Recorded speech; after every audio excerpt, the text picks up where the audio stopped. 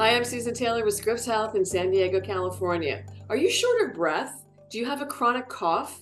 You might have a disease of the lung called COPD, chronic obstructive pulmonary disease. Joining us to talk about this is Dr. Samir Makani. He is a lung doctor. He's the director of interventional pulmonology and bronchoscopy at Scripps Memorial Hospital in Encinitas, California. Doctor, thanks so much for being with us. Thank you, Susan. Thanks for having me. So, what is COPD? Because there's there's a lot of reasons why somebody would be short of breath or somebody would have a cough. The COPD stands for chronic obstructive pulmonary disease. It's a chronic condition. It can be related to smoking related lung injury, to the lung tissue itself here. Chronic infections can also cause a problem in the lung tissue as well. And then lastly, things like asthma, which become chronic, can cause the air passages here to get tight uh, and not re reverse in terms of its damage also. And so, how common is COPD? COPD is fairly common. It happens in 20 to 30% of individuals who have an underlying lung disease.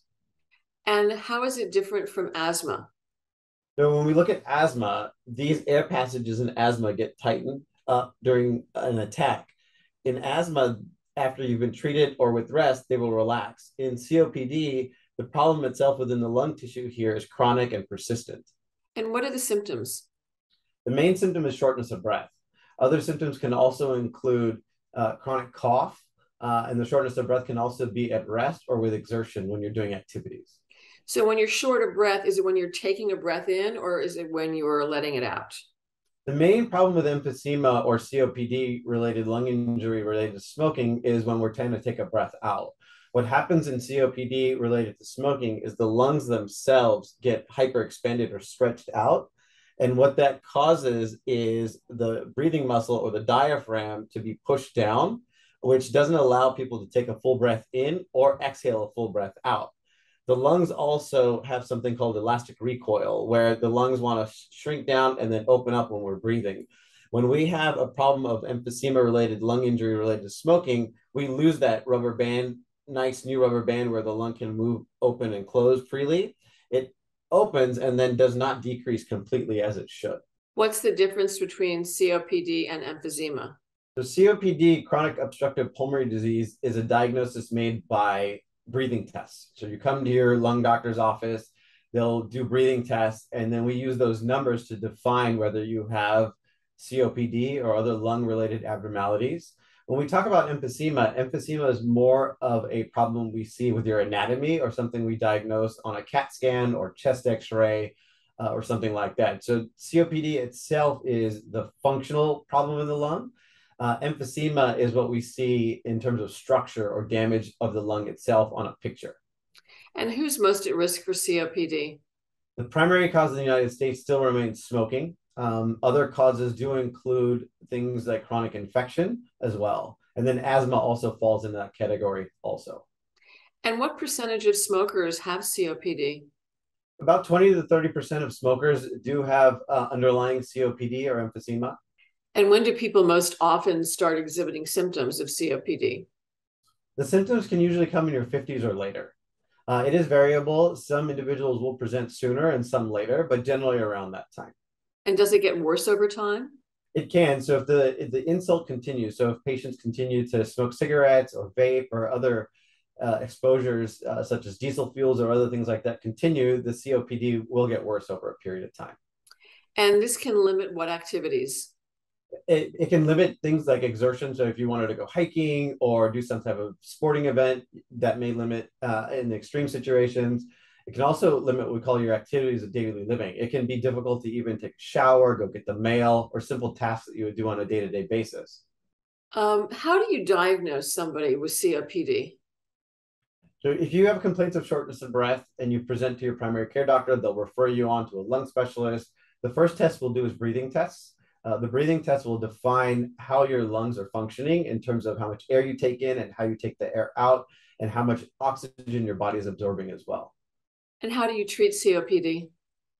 There's multiple ways. Uh, one, we use uh, inhalers, which will stretch out the lungs and make oxygen uh, and your airflow in your lungs better. The other options include oxygen. We do something called pulmonary rehabilitation, where it's essentially an exercise program for your lungs. And then there's more advanced therapies. One of those is something called lung volume reduction. um, that's done in uh, two different ways. And then lastly, lung transplant is also an option as well. But there is some incredible technology now to treat severe COPD. What is the Zephyr valve? That is correct. So conceptually, we wanted to follow the same concept of decreasing the overall lung size to, to decrease this problem called hyperinflation. So over the last 15 years, we've been working on methods to do that in a minimally invasive fashion. So these valves, called endobronchial valves, which you can see here, are placed in the lung in a minimally invasive fashion through the mouth, such that we can decrease some of the lung volume from the inside.